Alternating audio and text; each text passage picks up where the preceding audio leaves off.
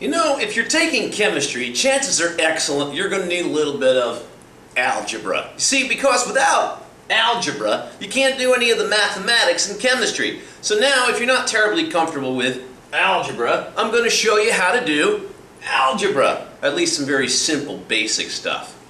This is an equal sign. Stuff on both sides has to be equal on both sides of the equal sign. That's why it's called an equal sign x is a variable. It's a number whose value we don't know. And that's the whole point of doing algebra, to figure out what that unknown value is. 2x equals 6? Well, that means that if you take whatever x is and double it, you'll get 6. So how do you solve for x? Well, it's simple. If you want to solve for a variable, you want to get it by itself on its side of the equal sign. Now right now, 2 is kind of getting in the way of x being by itself. So we got to get it out of there. Now, because 2 and x are multiplied by each other, we got to do the antidote for multiplication, which is division. If we divide both sides by what is keeping x from being by itself, 2, then 2 and 2 will simplify to just 1, that'll leave you with 1x, equals 6 over 2. What's 6 over 2? Well, duh, half of 6 is 3. Notice what we've done here.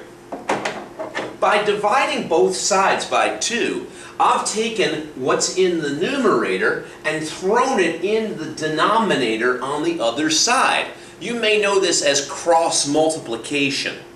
In a problem like this, when you want to solve for x, x is in the denominator. So your first goal is to get it the heck out of the denominator. I mean, you could get 2 out of there, but you'd still have x in the denominator. And that's not doing anybody any good. So what you do is you cross multiply. 5 times 2 is 10. 3 times x is 3x. And now that x is out of the denominator, we can solve for x like we normally would. 3 is keeping x from being by itself. So divide both sides by 3 to cancel it out. And now 10 divided by 3 is equal to 3.33, blah, blah, blah, etc., etc., etc. Take a look at the topic on rounding if you want to know about how to round this.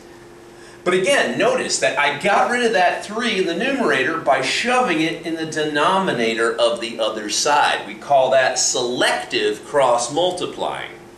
Now in chemistry, instead of having numbers and one variable to deal with, you're going to have an equation, which is an equal sign with stuff on either side of it. Letters that represent measurements that you can take.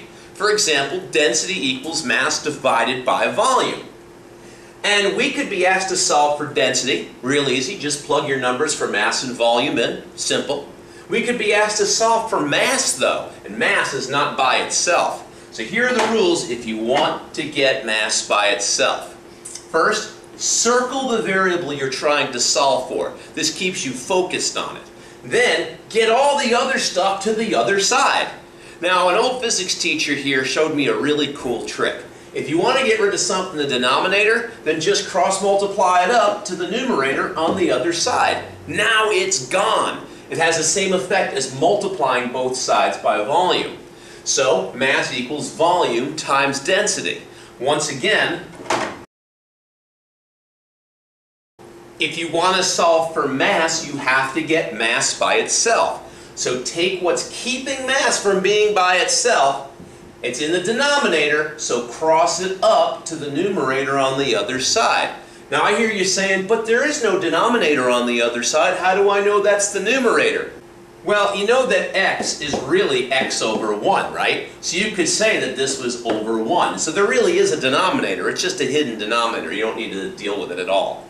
Okay, so now what if you want to solve for volume? Well, volume is in the denominator, and one of the rules is this. Very simple. If you got something you're trying to solve for that's in the denominator, get it out of the denominator. Look, mass is sitting on it. It's being squashed. Get it out of there. Rescue it. Take it and cross multiply it over to the other side. Okay? Hey, that looks just like the formula we had just a minute ago. Yeah, but now we're not solving for mass, we're solving for volume. Now, now that we've gotten volume out of the denominator, it's still not by itself. It's being multiplied by d. So to get d out of there, cross it over to the denominator of the other side. Volume equals mass over density.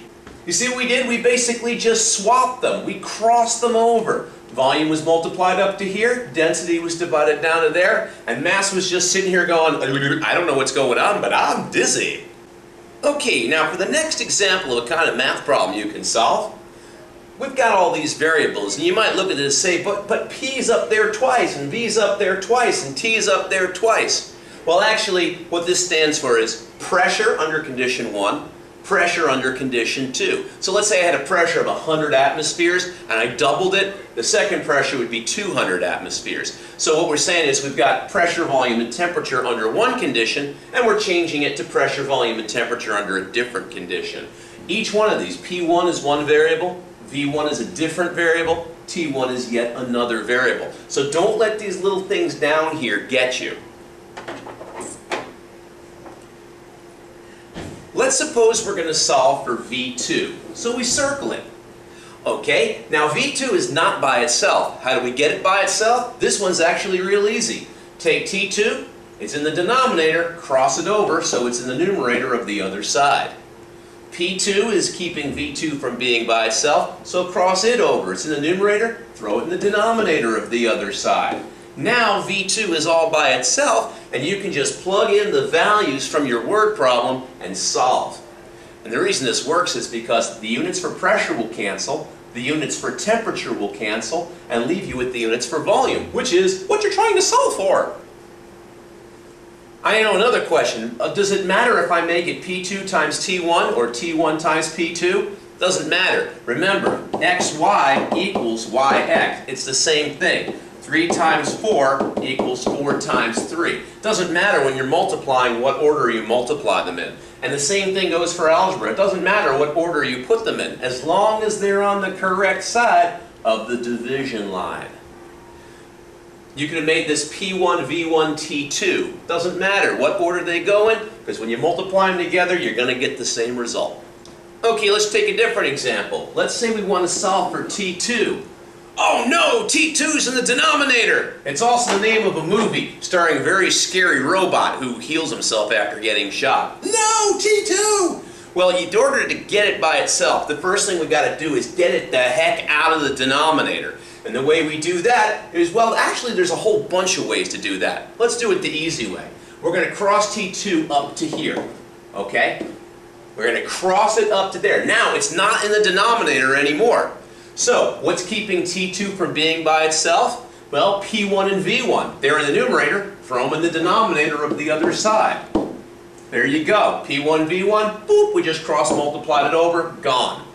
Alright, T2 is still not by itself. It's got this T1 in the denominator. If it's in the denominator, boop, throw it up to the numerator on the other side. You have now rearranged the equation to solve for the variable you're trying to solve for. And that's basically how you rearrange an equation in chemistry. And you can apply this to tremendous amount of things over the course of the year. See, basically all mathematics is, is a way of demonstrating relationships between different variables and allowing you to make predictions. For example, you know when you do a graph, right? And you say, well, I know what x's value is, let's go up to the graph, and then go across to y value like that. So here's x, and we can solve for y just by going to a graph. Well, what a math equation does is it takes a graph and creates a mathematical function out of that graph. For example, it could be a linear function. And you know how that goes, y equals mx plus b. Well, if you know what these numbers are, if you know what y is, and you know what the slope and the y-intercept are, it's real easy to solve for x. Just plug it into the equation and solve for x. So basically what a math equation does is it allows you to make predictions if I do this to this variable, what will happen to that variable without needing to have a graph in front of you? And that's really what math is used for in science, to show relationships and to build a model of reality that allows us to make predictions based on new information. Now, I know a lot of people are afraid of math. There's no reason to be afraid of math. Math is no different than any other tool that you need to learn how to use to solve something. Did you learn how to play that complex video game? Well, there's a set of rules you have to go by, right? Certain controls you have to do in order to do certain things. Math is no different. If you learn the basic rules behind math, just like any other tool, there is absolutely no limit to what you can accomplish with it.